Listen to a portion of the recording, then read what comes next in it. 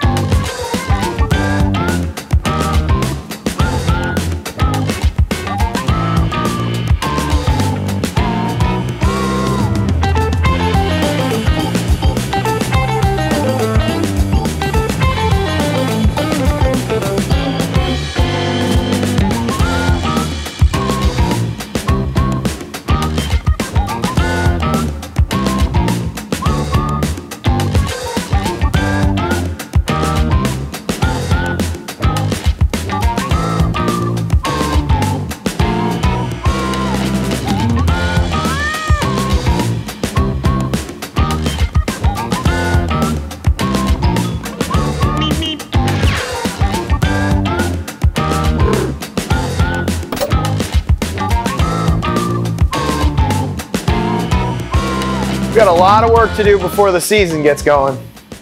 Come on, buddy.